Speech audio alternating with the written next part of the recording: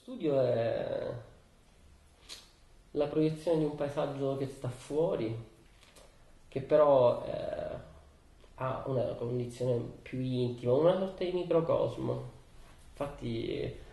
è molto importante per me che dentro ci siano i materiali che raccolgo fuori, eh, ci sono proprio fra- i frammenti de- de- del, del, del, macro eh, che tipo sperimento magari ogni giorno, cioè nel senso è una condizione esoterica che a me piace molto. I viaggi sono tutti qua dentro, cioè le, le, esperienze che faccio fuori sono tutte qua dentro, in una sorta di condensato, è un po' un... Infatti le cose cambiano, mi piace muoverle, si trasformano, si, si alterano ed è comunque questo il,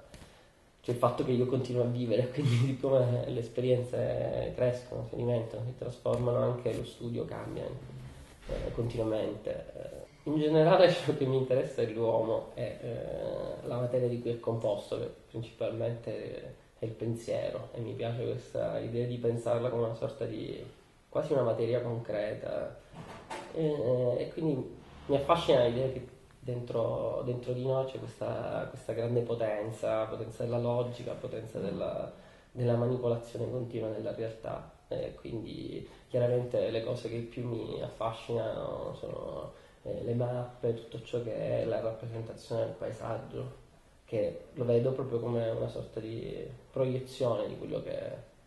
eh, che abbiamo dentro. Storie complicatissime, ma anche molto semplici. Ho semplicemente eh, conosciuto delle, degli artisti grandi e maturi e mi piaceva come, come vivevano, come riuscivano a integrare la vita e il, il loro diciamo, mestiere, tra virgolette. Quindi l'ho vista come una possibilità di, eh, di, di, approfondire concetti, di studiare libri, di, di tornare diciamo, un po' a, fare della ricerca. Mi piace scrivere il progetto, realizzarlo, finalizzarlo, quindi diciamo, nell'arte c'è anche questa bellissima immediatezza di avere un po' un questa possibilità di stare sia allontanarsi e dominare diciamo, proprio, la propria ricerca dall'alto, sia proprio di immergersi e proprio eh, re, trasformarla in, in, in, qualcosa che comunque poi ha una presenza fisica. Mi interessa mh, principalmente il processo che sta dietro le cose, cioè come le cose vengono fatte. Quindi, e questo può essere anche un ragionamento, una cosa costruita, cioè una, cioè ha una struttura, una, uh,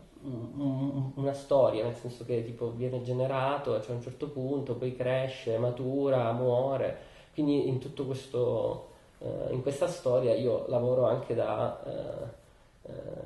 una sorta di artefice dietro, quindi eh, cioè, questa cosa che all'inizio può essere semplicemente un concetto viene da, da stimoli esterni che possono essere un viaggio su un vulcano. E mi piace il ferro perché il nucleo della Terra è ferroso ed è il materiale che un po' cioè che costituisce la forza eh, che ti fa stare in equilibrio, quindi che ti attrae un po' verso, ci fa stare dritti. Quindi è per me l'immagine di quel centro che non, non vediamo più ma sentiamo. Mi piace l'ottone che è una lega eh, ed è l'oro degli alchimisti, perché sono attratto come qualsiasi uomo dal perenne, cioè dall'immutabilità, dalla perfezione, però l'ottone è un, è un materiale che invece subisce il contesto, quindi si ossida, cambia col tempo, che è un po' come noi,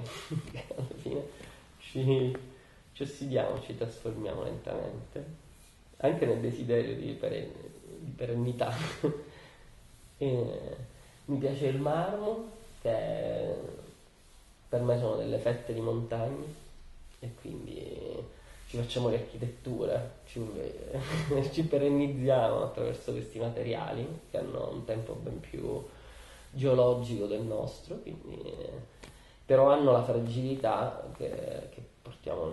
anche dentro sono sempre strutture molto pre- cioè lo utilizzo come materiale precario, eh, sono spesso frammenti di, di, grandi blocchi e sono gli scarti di questi, eh,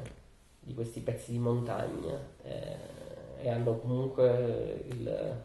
questo aspetto molto sottile e vengono tenuti spesso da delle morse, dagli strumenti da, da lavoro che tipo eh, necessitano di una pressione continua, altrimenti eh, tutto cade. Poi mi piace il vetro che è fatto di pietra